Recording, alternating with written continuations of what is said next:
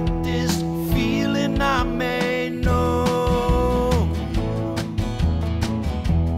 as a lover and a friend. But this voice keeps whispering in my other ear, tells me I may never see you again. Cause I got a peaceful.